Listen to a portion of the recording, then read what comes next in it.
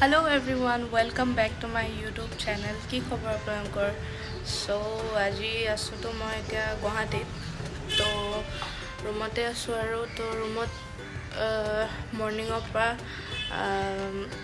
ৰাতিলৈকে কি কি খাওঁ সেয়াকে দেখাম আৰু আজি যিহেতু ছানডে হয় তো আজিতো ব্লগটো আপলোড কৰা নহ'ব দুদিনমান পিছতে কৰিম চাগে তো ছানডেৰ দিনটোত মৰ্ণিঙৰ পৰা ৰাতিলৈকে কি কি খাইছোঁ আমি কেইজনীয়ে তো সেয়াই দেখাম।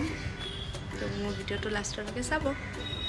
বাই মৰ্ণিংটো ফাৰ্ষ্ট চেণ্ডউইচ খালোঁ ভেজ আছিলে চেণ্ডউইচটো ফাৰহিনে বনাইছিলে বহুত টেষ্টি আছিলে চেণ্ডউইচটো তো চেণ্ডউইচ খোৱাৰ অলপমান পিছতে আমি আমৰ চাটনি খালোঁ।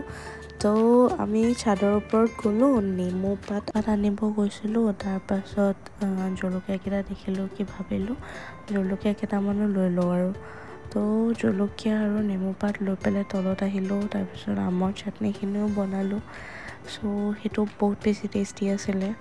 তো আমৰ চাটনি খোৱাৰ পাছত আমি লাঞ্চ ৰেডি কৰিম। তো লাঞ্চৰ কাৰণে তো শুকান মাছ আৰু বইল চিকেন বনাম। তো বইল চিকেনখিনি ফাৰহিনে বনাব আৰু শুকান মাছ মানে শুকান মিছা মাছটো মই বনাম।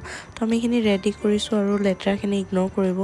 তো মিছা মাছখিনি গৰম পানী দি ধুনীয়াকৈ ধুব লাগে আৰু ওপৰৰ মাথাৰ পাৰ্টটো চাফা কৰি ল'ব লাগে ধুনীয়াকৈ এৰাই। তো মিছা মাছৰ কাৰণে মই এনেকৈ আলু কেইটামান চপ কৰি লৈছোঁ এটা চাইজতে কৰিছোঁ আৰু দেখিছে আপোনালোকে মানে। তো সৰু সৰুকৈ কৰিছোঁ তাৰপিছত আনিয়নখিনি দিলোঁ পিঁয়াজখিনি দিলোঁ তাৰপিছত চপ কৰি থোৱা গাৰ্লিকখিনি আৰু যোনখিনি ধুনীয়াকৈ চাফা কৰি লৈছোঁ আমি মিছা মাছখিনি শুকান মিছা মাছখিনি দিলোঁ এড কৰিলোঁ। আৰু তাৰপাছতে মছলা আমি ৰেড চিলি পাউডাৰ দিম। তাৰপাছত coriander powder black pepper powder ধনিয়া পাউডাৰ তাৰপাছত জিৰা পাউডাৰ আৰু এইটো কাশ্মীৰী ৰেড চিলি পাউডাৰ আৰু হালধি অলপ আমি এড কৰিম।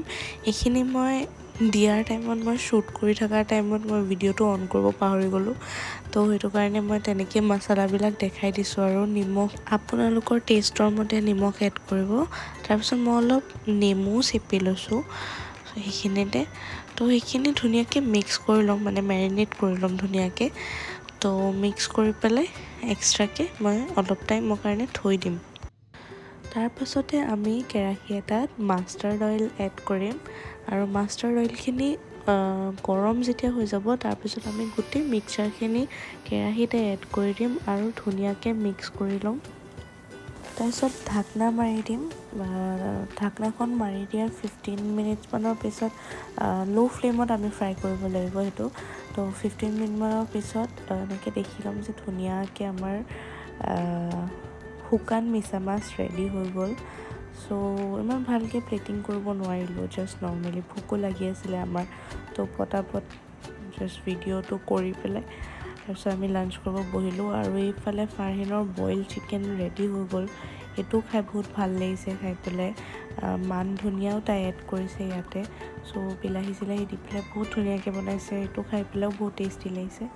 চ' আমাৰ আজিৰ লাঞ্চৰ প্লেটখন আপোনালোকে চাব পাৰে চাগে।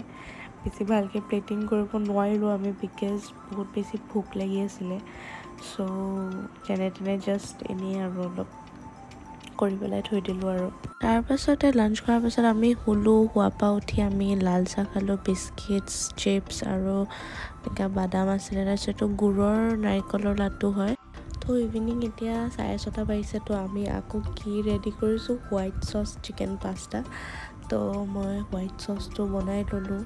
তাৰপাছত ভেজ ভেজিছখিনি আৰু চিকেনখিনিও পূৰা ধুনীয়াকৈ চিকেনখিনি আগতে ফ্ৰাই কৰি লৈছোঁ তাৰপিছত আকৌ ভেজিছখিনিৰ লগতে অলপ চটে কৰি লৈছোঁ তাৰপিছত এয়া হোৱাইট চচো বনোৱা হৈ গ'ল তাৰপিছত আকৌ এয়া মেক্ৰণি আনিলোঁ পাস্তা নাপালোঁ তো। এনেকুৱা হোৱাইট চচ চিকেন মেক্ৰণিয়ে বনালোঁ। চ' পাস্তাই আৰু হোৱাইট চচ পাস্তাই বনালোঁ। তাৰপিছতে অলপমান চিজো এড কৰিলোঁ। তাৰপিছত ধুনীয়াকৈ আকৌ এবাৰ মিক্স কৰি ল'লোঁ আৰু আমাৰ হোৱাইট চচ পাস্তা ৰেডি হৈ গ'ল। আমাৰ ডিনাৰ কৰাৰ প্লেন নাছিলে বাট আকৌ চাৰে বাৰটামানত আমি আমেনিয়াৰ পৰা ৰোল অৰ্ডাৰ কৰি খালোঁ আকৌ। থেংক ইউ ফৰ ৱাচিং মাই ভিডিঅ' আৰু যদি মোৰ ভিডিঅ'টো ভাল লাগিছে দেন প্লিজ লাইক এটা কৰি দিব comment share and subscribe to my channel bye